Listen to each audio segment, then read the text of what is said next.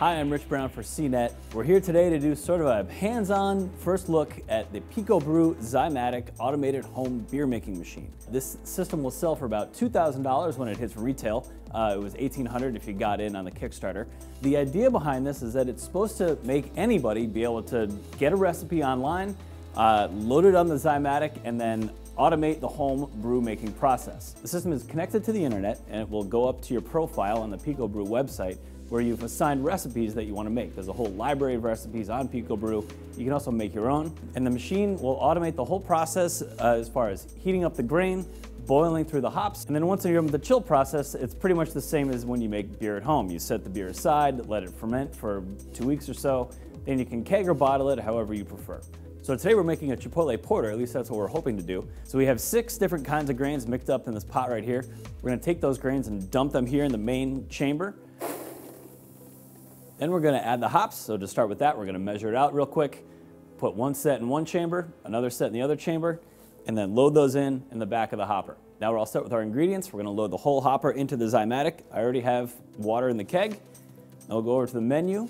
I'll select the recipe for my profile, hit brew, and we'll see you in a couple weeks to see how this turns out. Now we have some other plans for how we're gonna test out the system. We have one of the local brewers here in uh, Louisville, Kentucky from Against the Grain.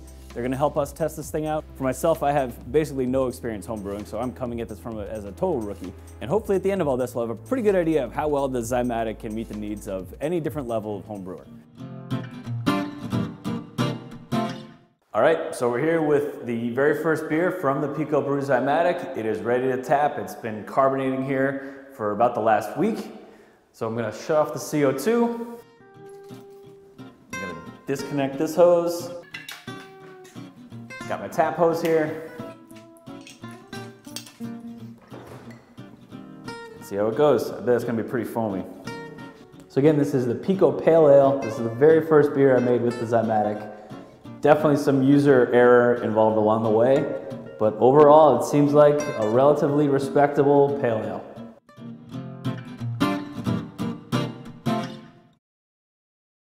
So last week we tried out our pale ale. This week we've made a new beer. This is a Chipotle Porter. Just about to take this one off uh, the gas as well. Uh, so where this one we want it to be kind of bittery and hoppy. The idea for this one is because it's a darker beer, we want it to be a little bit of a richer flavor, and that's sort of the test for the PicoBrew with this one. All right, here we go.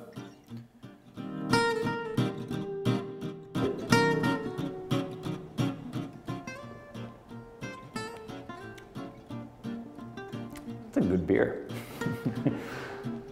Definitely like this better than that one. Very full flavor. All right, so we've got one more beer to go, and after that, we'll have a full review.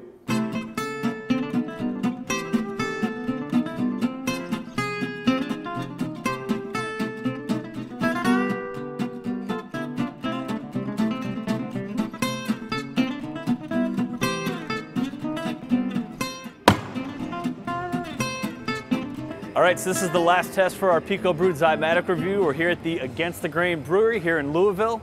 We've got a bottle of their Citra Down beer right here. They also have it on tap.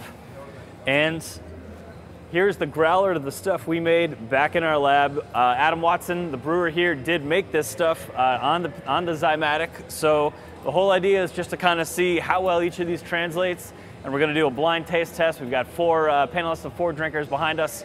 So I'm gonna set this up and we'll see uh, what they think.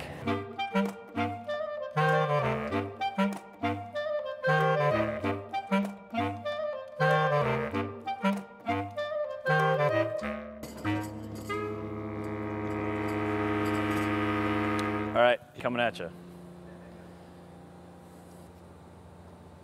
We had everybody put on blindfolds. We had everybody uh, taste one beer at the same time, and uh, they were able to tell with 100% accuracy what beer came from what brewing process. All right, which number was the stuff we brought?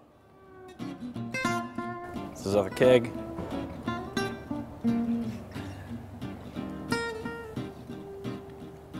This is the stuff we made off the PicoBrew.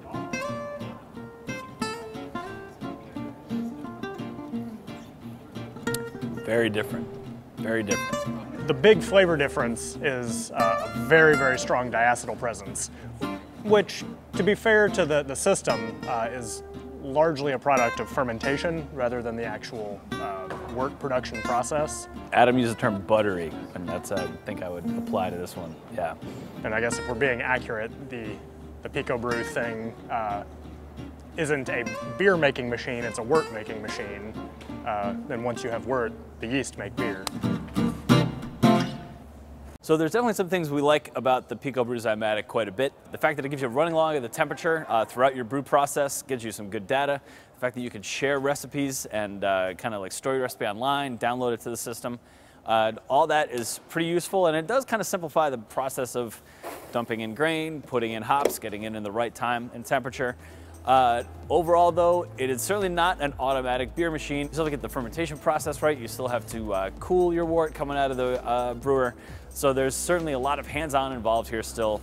Whether that makes the $2,000 Zymatic worth it, if it's not gonna quite automate the whole process for you, that's sort of between you and your uh, passion for making beer in your wallet. But uh, overall, this thing pretty much does what it says it's gonna do.